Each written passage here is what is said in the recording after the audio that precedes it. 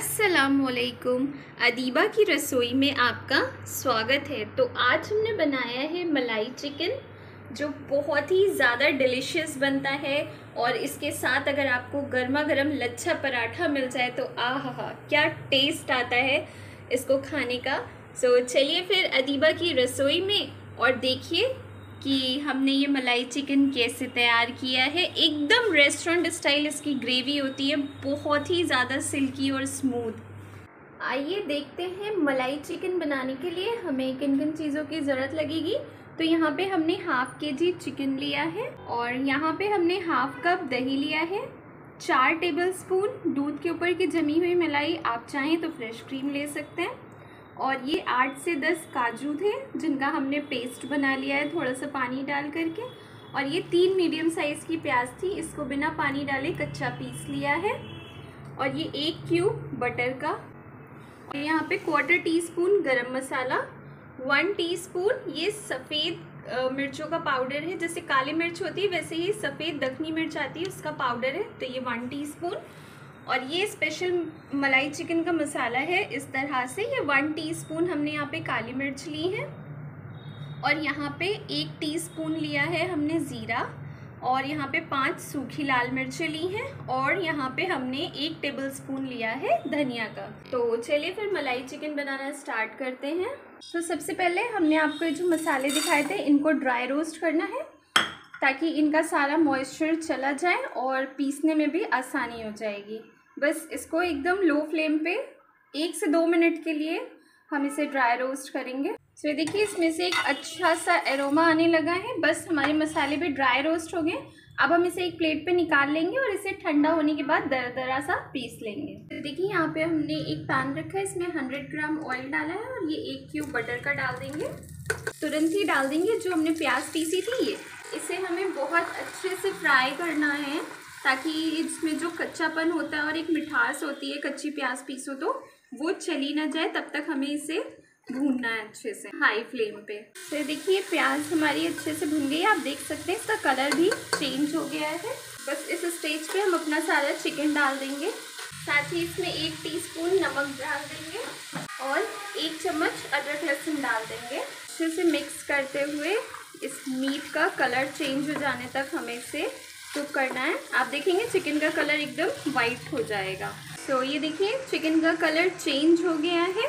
हमने वो जो मसाला आपको दिखाया था ये देखिए उसे पीस लिया इस तरीके से। ये सारा इसमें डाल देंगे। और साथ ही ये वाइट पेपर पाउडर साथ में जो हाफ़ कप दही लिया था ये सारा इसमें डाल देंगे।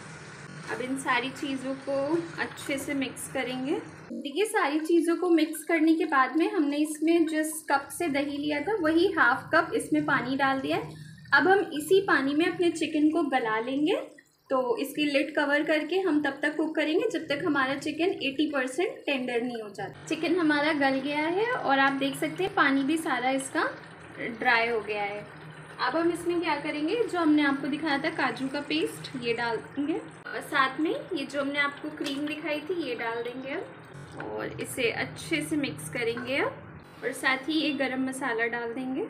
और साथ ही इसमें दो टीस्पून कसूरी मेथी डाल देंगे। इनको भी डाल के अच्छे से मिक्स दे देंगे। और अब हमें इन सारी चीज़ों के साथ में चिकन को अपने अच्छे से भूनना है।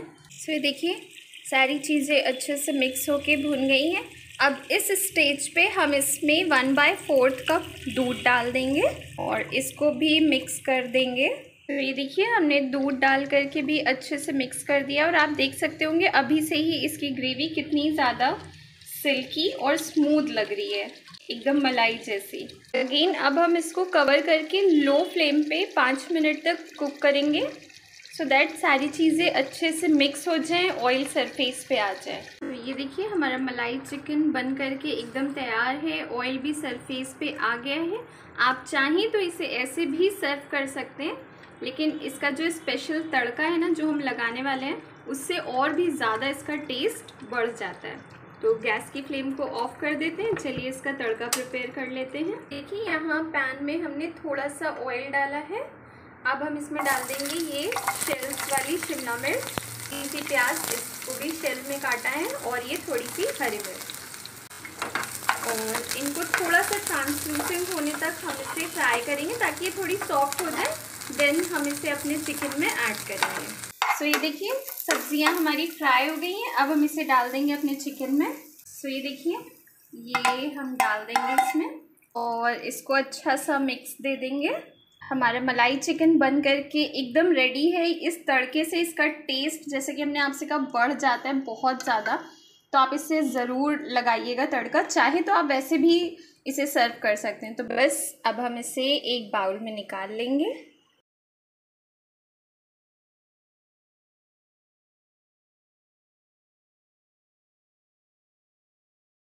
सो so, ये देखिए हमारा मलाई चिकन बन करके एकदम तैयार है और देखिए कितना ज़्यादा ये प्यारा लग रहा है। तो आप इसे ट्राई ज़रूर करिएगा। बहुत ही हल्के मसालों से बनता है ये। सो आई होप आपको हमारी ये मलाई चिकन की रेसिपी अच्छी लगी होगी। रेसिपी अच्छी लगी है तो प्लीज़ हमारी वीडियो को लाइक करिएगा शेयर करिएगा। और अगर आप पहली बार हमारे चैनल पे आए हैं तो सब्सक्राइब किए बिना मत जाइएगा। टिल दिन अपना ख्याल रखिए दुआओं में याद रखिएगा। अल्लाह हाफिज़।